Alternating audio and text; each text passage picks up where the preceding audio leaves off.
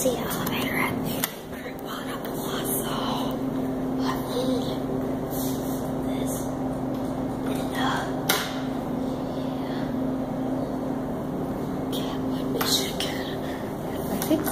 Well, at least I think this is Kentwood. I was her.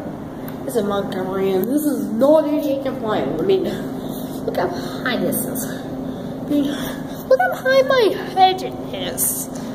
Hopefully, okay, more in the frame. We just got a good amount of megapixels.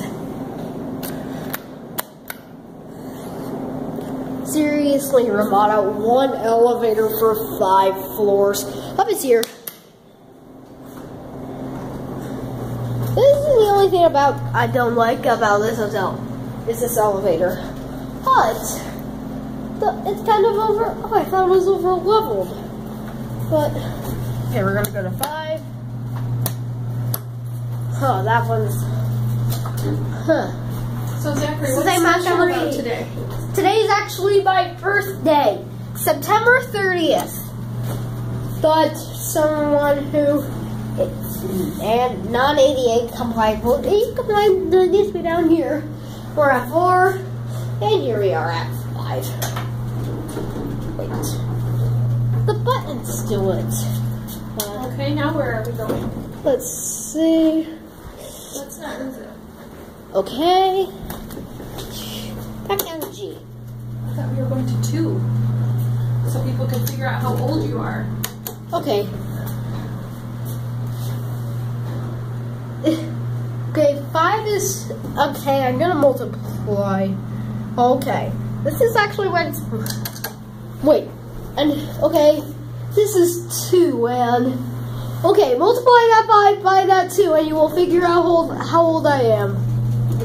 This is two. Okay. Let's. I'm testing. Just testing. No interlock, but you can see up the shaft. It's Montgomery. It's Montgomery. Overall, it isn't too bad. The rest of this hotel is.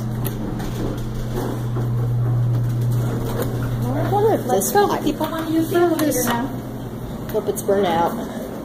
Okay. Sense, at least the sensor works.